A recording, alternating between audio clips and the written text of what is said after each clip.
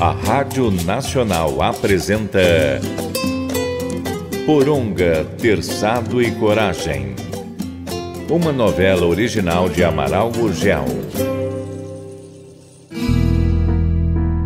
Tente responder. Será que a densa floresta é lugar de encontrar sossego?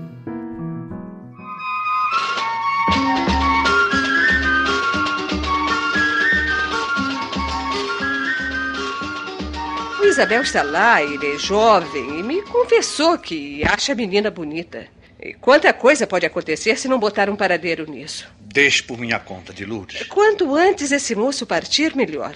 Que a Isabel pode se impressionar com o ar romântico que ele tem. E aí depois ele é galanteador. Tu percebeste alguma coisa? Chamou a Isabel de princesa que saiu de um conto de fadas. Falou que ver uma mulher bonita anima qualquer um. E depois ainda corrigiu, dizendo duas. Duas? Por quê? Eu cheguei com a Isabel. Ah, mas esse traste vai ver comigo, abusando até com a minha Ah, mulher. peraí, calma, Beto. Não podemos considerar um abuso. Então, somente uma frase delicada. Ele quis ser amável. Pois que vá ser amável na cidade onde, onde com certeza vivia. Nessas bandas não estamos acostumados com isso, não, viu? Ah! Será que estás com ciúme, E Beto? não é pra tal, gente. Tu continua bonita. Mais bonita do que em solteiro. Ai, que bom, querido. Hum. Mas que, que, que é isso, mulher? A gente não tá sozinho, empregada tá vendo. Oh, que veja! Eu não estou abraçando o marido de outra mulher. A gente se casou, o tempo foi passando. Nunca mais tu disseste que me achavas bonita. E precisava?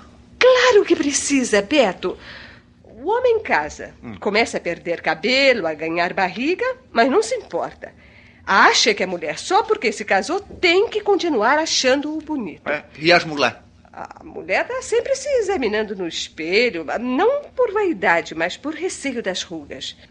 Usa creme, pinta os cabelos, procura exercícios que façam perder a barriga, vigia o peso. E isso não é vaidade, Não, mulher? não é não. Hum. Meus cabelos começaram a cair, mas eu passei um remédio que um caboclo me ensinou. Ô, tu nem notou? Ah, como não? Suco de babosa fede pra burro. Ué, por que não reclamou então? Tu estavas querendo ficar bonito, como eu pensei que fosse pra mim. E pra quem mais havia de ser? Eu te adoro.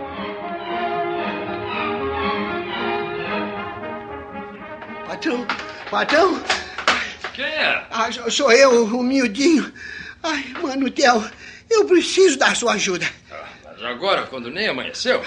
É coisa grave, Milton? É, é, é causa de morte, patrão. Ah, epa, quem está morrendo? Por enquanto, ninguém, né? Mas, mas vai morrer. Ah, espera um instante que eu vou vestir as calças e, e já te atendo. Tá, eu, eu espero, patrão. Pegou fogo no barracão de depósito? Oh, não, não, não, senhor. Mas, ah, alguém se afogando? Oh, tá, também não. Pois então diga logo o que está acontecendo, homem. Eu não aguento mais, eu tô desesperado. Vamos lá, diga o que aconteceu. Sim, porque me acordar de madrugada com esse berreiro. Mas eu, tô precisando de um empréstimo.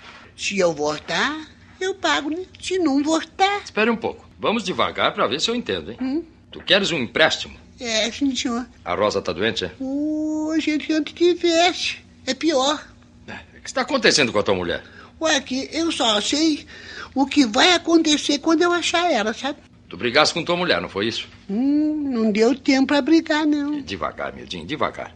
Conte-me do começo. Oh, meu Deus, é o começo, o senhor já sabe. Foi no carnaval.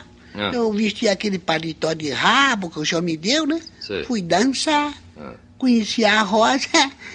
Me embebedei e trouxe ela pra cá. Ah, mas isso já faz muito tempo. O senhor mesmo falou que ela era mulher ordeira, não foi? Que cozinhava bem. tudo. Sim, ela é assim. Tem muitas qualidades. Tem. Mas tem um defeito que botou tudo, tudo a perder. Hã? É traideira. Ah, isso não. Que a Rosa foi sempre séria. Sempre te respeitou. Foi, foi, foi. Enquanto a gente tava dormindo na mesma rede. Sem bobagem de papel e tudo, né? Faz apenas quatro anos que tu te casaste com ela. Eu nunca me queixei, patrãozinho, mas depois que ela conseguiu me levar para diante do padre, oh, minha nossa, já mudou muito.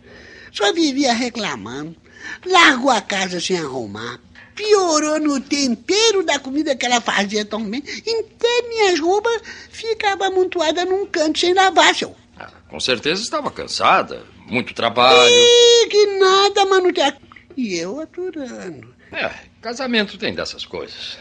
É, nem sempre é um mar de rosas. É preciso tolerância por ambas as partes. É, tudo, tudo eu tolerei, Manutel. Mas isso eu não aceito. Ela fugiu. Ah, fugiu? É. Mas como? Olha, como não sei. O senhor se lembra que uma semana atrás apareceu por aqui um sujeito medidor de terra? Sim, um agrimensor. Estava de passagem. É. É, peraí. Não me diga que ele. Ah, não, tira! Não foi ele, não. Foi o que ajuda ele. O que carrega os aparelhos dele? Ele andou de conversa com a Rosa. Né? E hoje, quando acordei, que não vi a mulher na cama, eu desconfiei. E não tinha mais nenhuma roupa dela lá em casa. Nossa. O peste carregou com ela.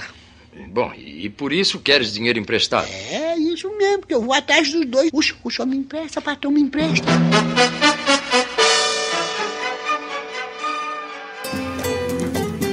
Estamos apresentando Poronga, Terçado e Coragem.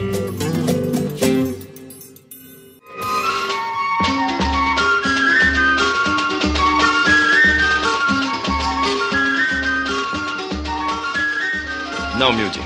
Não vou te dar dinheiro por dois motivos importantes. O primeiro, se tu encontrares a Rosa, vais matá-la ou serás morto pelo sujeito que a levou. Se morrer, não poderás me pagar. E se viver, estarás preso e da mesma forma eu perdi o dinheiro. Abel, o senhor não é meu amigo? Sou, e esse é o segundo motivo. Não desejo que tu morras, nem tampouco que termines teus dias na cadeia. Aí eu vou ter que aguentar essa traição? Pensando bem, ela não te traiu. Ô, gente, mas como que não, senhor? Foi mais honesta do que se tivesse se divertido com esse camarada e continuasse vivendo contigo. Ela simplesmente te abandonou. Agora está seguindo a vida que quis. Considero a Rosa uma tola. Deixou um homem bom como tu e seguiu um cara que até há pouco era um desconhecido. Olha, eu garanto que na primeira cidade em que chegarem, ele abandona a Rosa à própria sorte. E só então ela compreenderá a idiotice que fez. É, mas se voltar arrependida, vai levar o maior pontapé aqui, ó. Lá nela, hein? Não, não voltará, mesmo que se arrependa. Mulheres que vivem aqui, quando deixam o marido ou a casa dos pais, jamais voltam. Sabem que aqui já não existe mais lugar para elas. Aí eu, e eu, Manutel. Tu simplesmente voltas à vida que levavas antes, de liberdade. Já existe divórcio, Ô, Mildinho. meu Deus, o senhor acha que divórcio foi feito pra pobre? Gente que nem eu? Com ou sem divórcio, estás livre da mulher. Se quiseres casar outra vez. Pé, pé, vira essa boca pra lá, Manutel. O que que é desconjuro? Nem com uma garrucha no bucho alguém me leva outra vez pra diante do padre ou do juiz. Pois então, de que te queijas, Mildinho? Homem, aqui, Manutel, pensando bem? É, até que foi bom. Engraçado aí. Sabe que até já tá passando a raiva? Olha, Manutel, Deus lhe pague, hein? Agora eu vou sair daqui com a arma mais leve e a cabeça mais descansada. Amanhã eu quero ir visitar o Beto Machado de Lourdes. e vou sair de casa sem precisar contar pra onde vou. Para onde vais, Beto? Visitar o Chico, como prometi. E falarei com o Luiz, viu? Sim, mas fale com rudeza. Nada de pena que ele já está forte, hein? E tu achas que eu vou afrouxar só porque foi encontrado ferido? Nada disso. Vou chamá-lo para uma parte e descer a lenha. É, mas nada de briga, Beto. Não tenha receio que ele vai murchar as orelhas e ouvir tudo calado. Tá sem razão. Ótimo. Comadre Zefa. Viva! Que surpresa boa! E a comadre? Não pôde vir, sabe? Muito trabalho, menino. Eu entendo. Mas, mas sente, compadre, vai? É, Obrigado. E, e o compadre Chico? É, nas estradas. E foi cedo cortar e agora tá coiando. Ah, isso é bom, que estamos precisando de borracha. A Isabel? Não viu ela lá na praia, não? Não vi, não. É, mas talvez estivesse mais afastada, não? É, tá vendo, é. Bom, é, é de admirar que ela não tenha visto o senhor. Que ela deve estar de zóio pregado em toda canoa que chega. Esperando alguém? O Rafa, Hum, o filho de São Romão. sei. Hum, ele apareceu outro dia aqui. E eu, né, só por delicadeza, convidei ele para vir almoçar no sábado. Apoio é que ele aceitou em antes mesmo que eu acabasse de falar, compadre. Comadre, na idade dele a gente não recusa o convite onde existe uma moça bonita. Então o namoro tá ferrado, né? Bom, eu não sei se estão namorando, não, compadre. A Zabé diz que é só amizade. Ele, felizmente, viu, é muito respeitador. Dá bem. Mas se veio pra falar com o Chico, vai ter que esperar um pouquinho. Não, não, comadre. Não? É até bom que ele não esteja. Eu quero conversar com seu hóspede, Luiz. O Luiz, é, ele também não tá, não. Será que já partiu? Não, senhor. Nem fala em partir. E onde é que estão, então? Com o Chico, ajudando. E diz que aprendendo o trabalho. Ah, essa não. Olha, compadre, desde na segunda-feira que ele mudou muito. Tava sentado aqui na frente da casa, numa tristeza de fazer dó. Foi quando a comadre chegou trazendo a Zabé. Ele riu, conversou. Parece até que ganhou arma nova. e já na terça-feira tava reinando. Reinando. Poxa, foi o que eu pensei, né? Pegou uma lata velha, ficou martelando, pediu pra ver como era a poronga do Chico e fez pra ele. Fez uma poronga. E muito bem feito em terra. Olha, fartava o espelho e a lamparina. Nós tínhamos uma lamparina velha, né, que demos pra ele.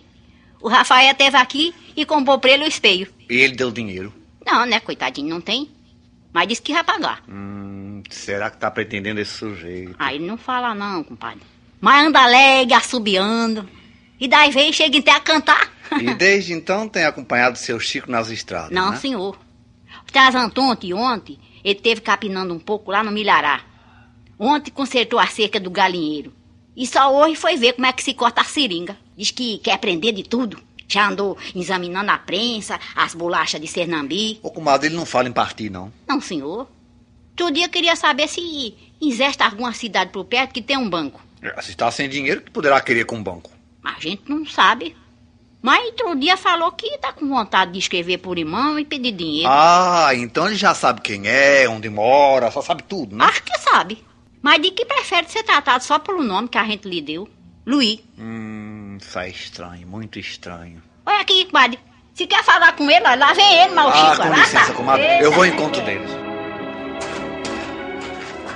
Compadre, que novidade traz o senhor por aqui? Vontade de rever os amigos. Tomar o cafezinho gostoso que a comadre Zefa faz. Ah, pois vamos chegando. Será um prazer. Olha, se não leva a mal, seu Chico, eu peço que vá e me deixe a sorte com o seu Luiz, viu? Eu tenho um particular para conversar com ele.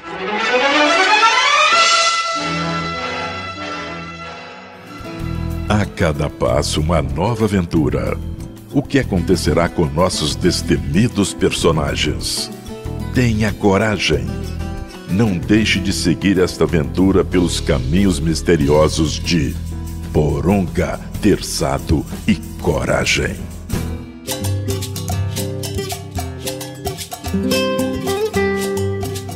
A Rádio Nacional apresentou Coronga, Terçado e Coragem. Uma novela original de Amaral Gurgel.